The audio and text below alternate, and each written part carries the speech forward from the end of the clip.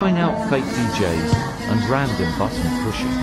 Getting the doohickey right there. Woo, woo, even press a button that time. He said, woo, gotta, gotta, gotta, gotta calibrate the, gotta spin the, gotta push the, gotta engage the, gotta woo, woo, woo, yeah. She calibrated the fuck out of that shit. Yeah, let's get this cracker lacking, people, yeah. Can't do a goddamn thing. He said, whoa, whoa, whoa, whoa. Honestly, I don't see no problem with it. On the other hand, I can see how some real DJs would have a problem with this. Maybe the DJ just, I don't know, has social anxieties or something. He's just real good. Or he or she is just real good and they just need a hype man. It's a duo. I see this as a dynamic duo right here. That's just me. The actual DJ is somewhere lurking in the shadows, and they have their hype man out here like a stand from JoJo's Bizarre Adventures or some shit. Maybe they're just playing like a recording and I'm just overhyping this shit. But maybe I don't know, man. I don't know if people actually do. I don't know. I don't know. I don't know. Maybe they people actually do that. Now, when I think about it, it makes perfect sense. Kinda, a little bit. Somewhere in my brain. But I can also see how this can be an insult to people who's like fucking fine tuned their DJing skills throughout years and years, gone into the mountains, mentored by Skrillex and shit to be the perfect DJ, and then you see someone just like come up on stage and like I mean, it does look goofy, like, don't get me wrong. What's the difference between her and a hype man? I'm pretty sure if you told half these people that she was an actual DJ, I'm pretty sure no one would care. No one would give a fuck. I can guarantee you. Some of them, like, at least half would care.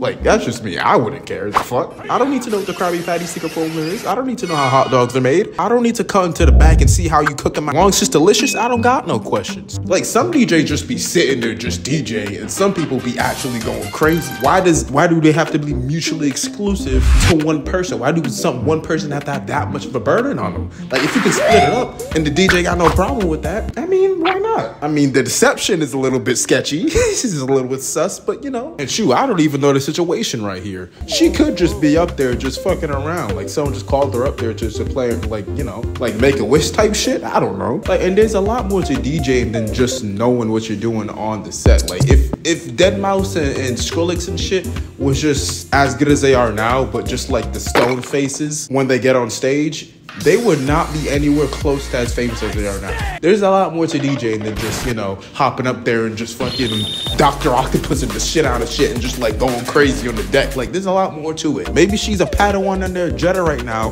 learning the ways of the deck. Just trying to learn, like, you know, the whoop whoop whoops and like the fucking energy and shit. Like, I don't know. I don't know the situation. I'm not gonna judge because I don't know the situation. People in the comments talking about, oh, what's her at? Like, so what? You can go harass her?